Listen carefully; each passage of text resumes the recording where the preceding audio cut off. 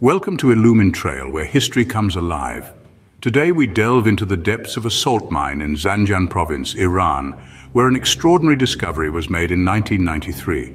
In the silent, shadowy expanse of the Chehrabad salt mine, an ancient mummy had lain undisturbed for around 1,700 years. This mummy, known as the Salt Man of Zanjan or Salt Man I, was found encased in a cocoon of salt deposits, an unusual tomb that preserved him in stunning detail.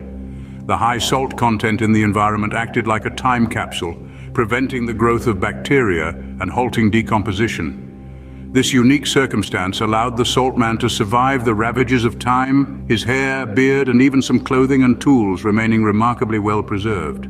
Thus, beneath the layers of salt and time, the salt man of Zanjan was unearthed, a silent testament to a bygone era.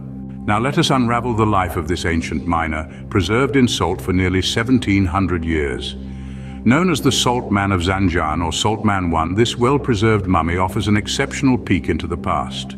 Locked away in the salt deposits of the Chehrabad mine, this man lived and breathed the life of a miner. His remarkably preserved attire and tools tell tales of a time when mining was a dangerous yet essential occupation. A hardy leather belt, a pair of sturdy shoes and a robust pickaxe were more than just possessions. They were symbols of survival and livelihood. His diet, another fascinating aspect of his life, was simple yet nutritionally balanced. Researchers found traces of grains, meats and fruits in his digestive system, suggesting a well-rounded diet typical of the era. But life in the mine was not without its perils. The salt man's health was not in the best of states. He bore the marks of a physically demanding life with signs of arthritis and other ailments.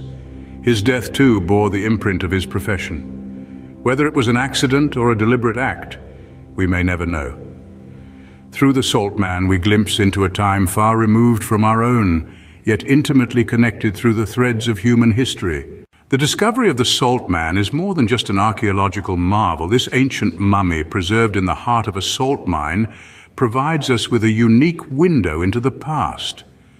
The details of his life and death shed light on the culture, lifestyle and burial practices of ancient Iran, enriching our understanding of this historical period. The Salt Man of Zanjan, a relic from the past, continues to illuminate our understanding of ancient history, one grain of salt at a time.